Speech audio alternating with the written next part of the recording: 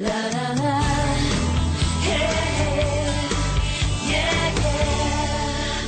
are. Welcome back to Daytime here on Rogers TV. Well, if you have not heard the soothing and wonderful and beautiful sounds of Kellylee Evans, then where have you been? it is the perfect date night music, the perfect music, oh, with a bathtub and candles. It is just absolutely Agreed. the best. And she is just not only a beautiful singer, but just a lovely, lovely person. Here she is for you now, the incomparable Kellylee Evans. It's good to see you again. Uh, good to see you guys again too. Thank you so much for having me. Oh, my gosh. kidding? We'd have you weekly yes, if we could. absolutely. Welcome Joel? to the show, Joel. Yeah? Joel, you in? Yeah. All right. Okay. Well, Kellylee, great news because you have a brand new album out. Uh, now, traditionally, some of your songs have had some love themes to them. What can people expect this time? More obsession. Oh, more obsession. Oh, That's good. why you two get along so well. Excellent. Yeah, no, it's a, it's very much about lust and love and longing, and um, it's a perfect, it's a perfect CD, I think, just to go through the different stages of a relationship. You know, from the lead up, well, just from the, the first glimpse to like the end. So yeah, it, I'm, I I really enjoy the CD. It sounds like you're in a, a new phase in your career. How would you describe the difference between your first album and this new album? Well, you know, it's funny. I I want to say that I probably have more experience now, but in the last little while, I'm realizing that I need to like get rid of that experience and really approach this album the same way that I approached the first one, which was with a sense of wonder and not knowing what the industry was like and feeling that anything could happen. Because I think that if if there is some success for the CD, I think that's going to be why. If you you just have to kind of believe again, and it, it's easy to get really jaded. So I want to make sure that I don't I don't get that way. What Yeah. comes first when you're songwriting? Is it the music or the lyrics? Well, sometimes they seem to come together. You know, um, the music really.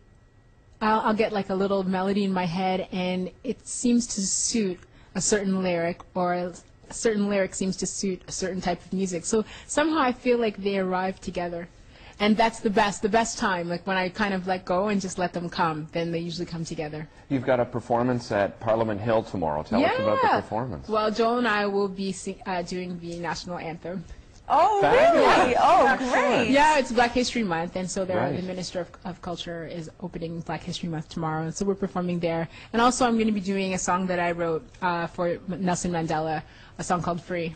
Oh, wonderful. Yeah. Well, I talked a little bit about, you know, sort of your, your music is so soothing and wonderful. I mean, you just want to close your eyes when you listen to it, really. Would people expect the same feel from this new album? Yeah, you know what? It's a lot more energetic, but it still has a peace, peaceful element to it. And I think that's just, it's, uh, I don't know what it is. I think it's, It's something in my voice. thing. it's Oh, something yeah. in my voice because, you know, anybody that knows me knows that I'm really, like, really high energy. Yes, it's I don't think being around me is very relaxing. Well, but, but my music is. So. well, we love being around you, and we you. love listening to your music, and we hope you come more often. And uh, will you play one of your songs for us now? yeah, definitely. Oh, well, here she is. You're going to be, you're going to feel compelled to close your eyes, sit back, and relax, and listen to Kellylee Evans.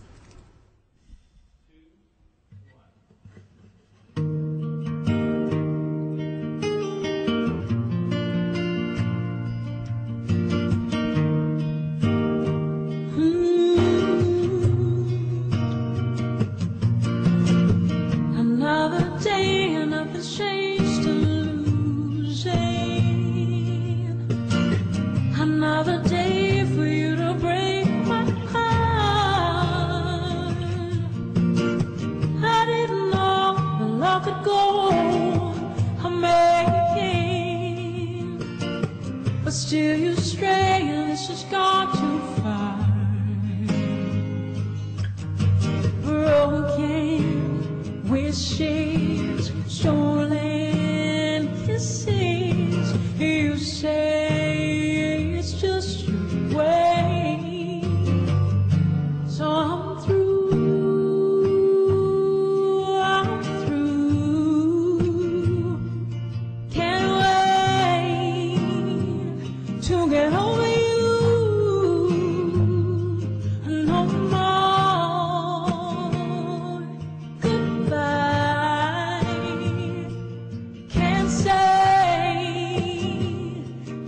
didn't Another day is to your shame. You're sorry.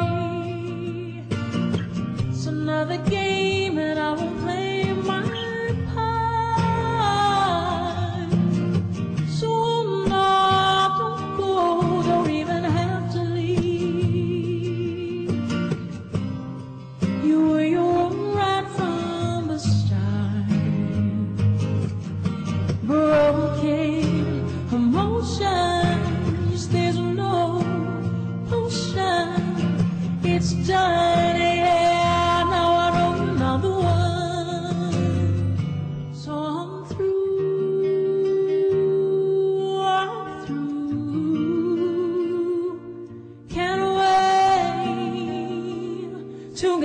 you.